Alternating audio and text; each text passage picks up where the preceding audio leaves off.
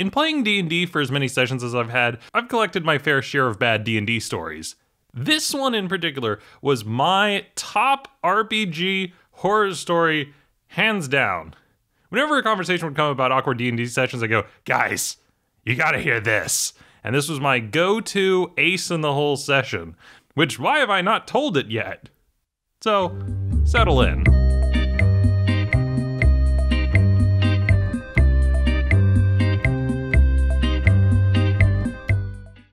I had an old 4th edition Dungeons Dragons group that I played with for a while when I first got into the hobby.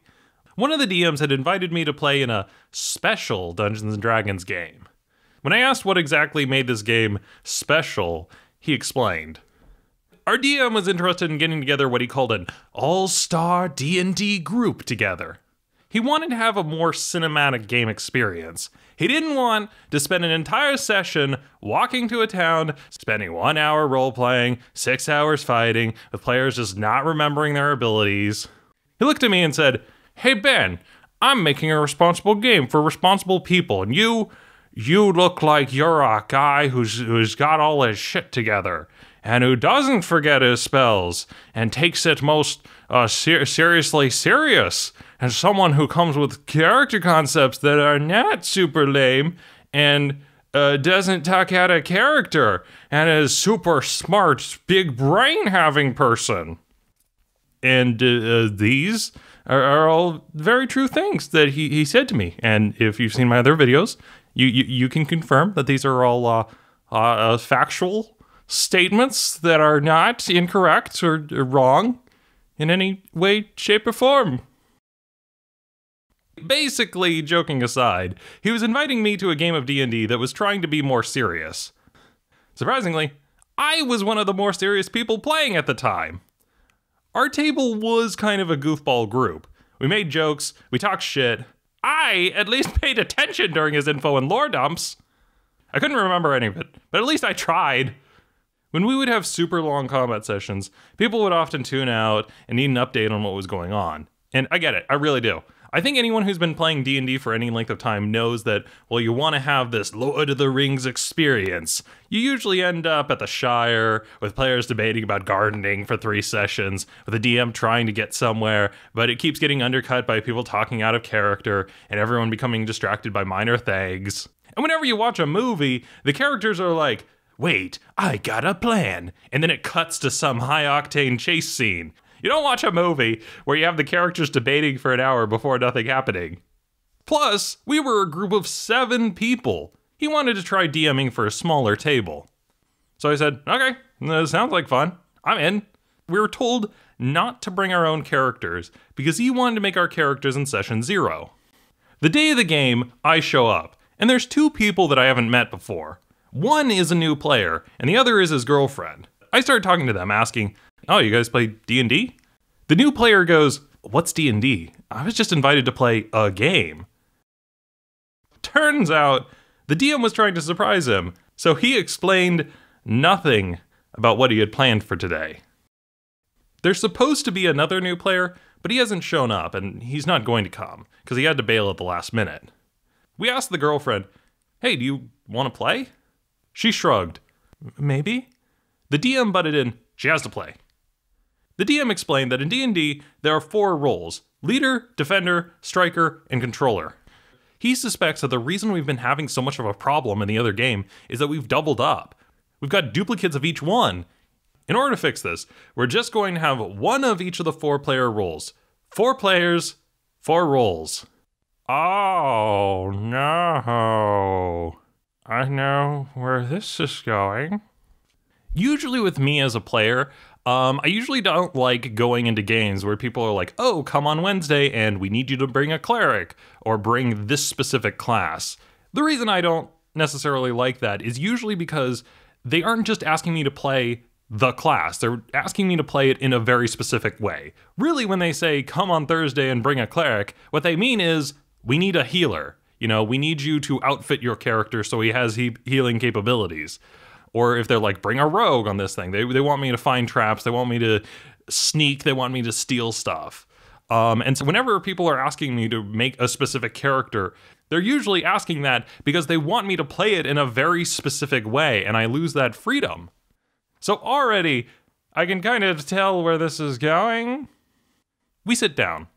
Because these are new players, the DM has to explain D&D to them. So he starts going through the general introduction of D&D as a role-playing game. Each player assumes a persona, one of the characters, blah, blah, blah. And then eventually we get to the character creation. The DM pulls out a stack of blank character sheets and pencils, and I immediately panic and pipe up. Wait a second, we're we're uh, making making characters by hand. Yep. uh, we've got we've got some new players here. uh, do you really think that's a, a good idea? Maybe you want to do pre-gens, or hey, why, why don't we use that online character creator, huh? Just to explain, in 4th edition, there was an online program which you could use to make your character for you. Unlike D&D Beyond, where you have to pay for each book you use, this program was a $7 per month thing, but it had every single book and every supplement, and there was a lot of options. It was nice to have everything in one place between Player's Handbook 1, 2, 3, the World Books, all the Dragon Magazine options. It was great for new players and even veterans because as you were making your character, it would tell you what you were qualified for and what you weren't. If there was an error or something, it would prompt you, hey, you changed your class. You can't use this weapon anymore. So that's why I had to ask, why are we not using the character builder? Because they need to learn how to play D&D the right way. He handed them a pencil and a blank character sheet. The problem with our old group, he felt, was that his players would just go online, pick powers at random, print off their character sheet, and use their powers willy nilly. His players, he suspected, weren't really digging into the meat of how their abilities work. He argued that if they at least took the time to write everything down, you'd at least know what's going on it. You're not gonna have this situation where someone picks a doppelganger as their race, and then four sessions in, finally reads the ability and goes, Wait a second, I can change into other people? How long have I had this? That person was me, and I feel really bad about it.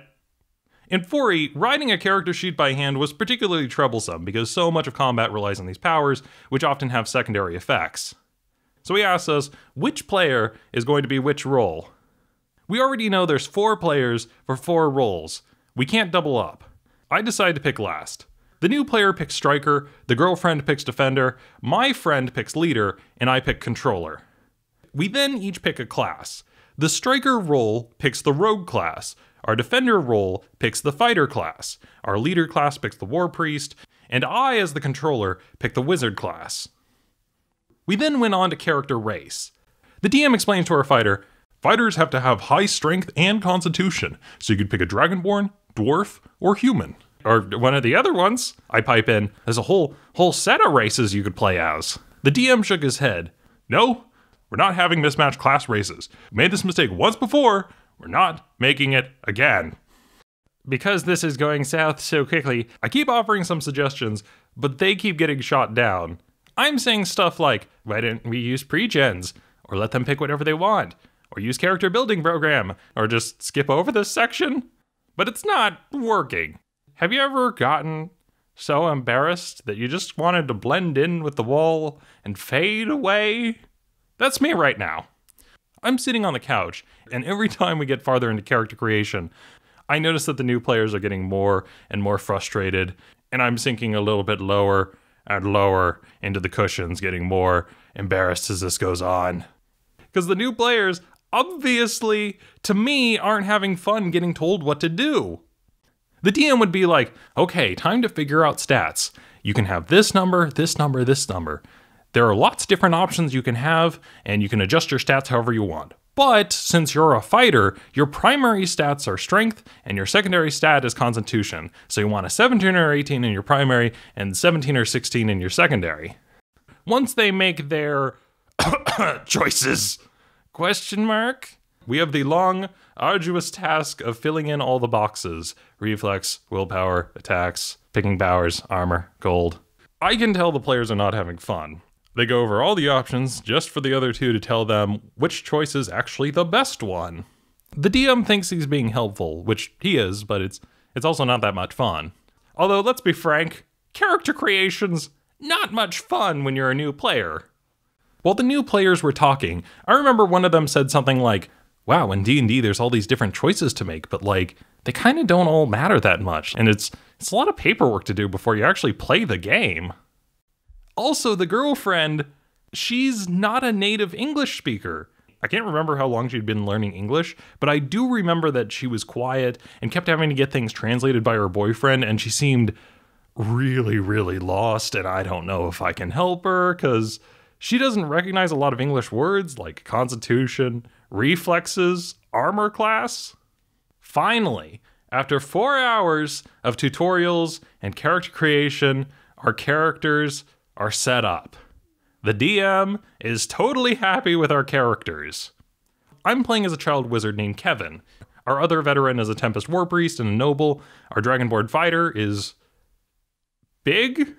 And our Halfling rogue is a rogue that is a halfling. That's all I can remember about them. We start off and get into a fight. There's some role playing going on, but it's just between me, the DM, and the cleric. The two new players are just watching us with this what's the fuck look on their faces. I know I, as the character, should be trying to include them more in the dialogue, but that would require me to make eye contact with them. And I'm just, I'm so embarrassed. I just, I just can't. Besides, after what we put them through, if they want to sit out, I'm fine with that. During the roleplay, I ended up doing a little skit my character got stabbed, and it led to this overly dramatic thing where Kevin is burst into tears. He thought he was going to die. The pain was horrible. The cleric healed him, but he continued to whine about it. The DM explained to the new players, D&D is, at its core, a storytelling game. You need to not worry about the numbers, stats, damage. Actually, I prefer not to use the term role playing. It's a bit misleading. Really, it's acting. You are actors trying to convey the emotional highs and lows, and focusing on the story is the most important part. After the session was over, with 30 minutes of play, the DM started giving us pointers. Fighter, really, you should think about using a voice. Try going a bit more deep. You're a dragonborn for crying out loud. Cleric, you are a noble. Try being a bit more uh, respectful, a bit more, hmm, hmm, refined, I guess you could say. And Ben, the bit you did with Kevin where he was crying, like it was okay, but you gotta tone it down a bit. Like it lasted too long. He's just, he's a bit too innocent, don't you think? After that was done, we finally finished up the session. Four hours, making characters, 30 minutes, playing. The DM ended it. Okay, we'll be finishing it up here. See you guys next week. The two new players got in their car, left, and the saddest part is I never saw them again. That was the first and last time I ever met with them. And the one thing I regret is I never got to tell them how very sorry I was about how that game went down. I had found out afterwards that our DM wasn't happy with the way our regular group had been running. He felt that we were playing our characters too suboptimal, and that's why the fights were taking an ungodly length of time. Which is why he was interested in playing D&D the way it was intended, the way it was represented in the book, with four roles, one character from each role, at the appropriate levels, with the appropriate class and race. But part of the difficulty comes down to mathematics. Like the enemy has 200 hit points, and the players can dish out only about 20 points of damage in a round, excluding missed attacks, that fight is gonna take 10 rounds, no matter how much you slice it. I've kind of wanted to make 4E stories for a while, but I couldn't really make a video on some of those earlier games and always decided against it because what would I do? A lot of them were just flat boring. It's easy to make fun of bad, but boring's a lot tougher. What kind of video would I make? After all, if I were to make that video, it would just be me on the screen going, We fought goblins for eight hours, and then cutting the video. Right there.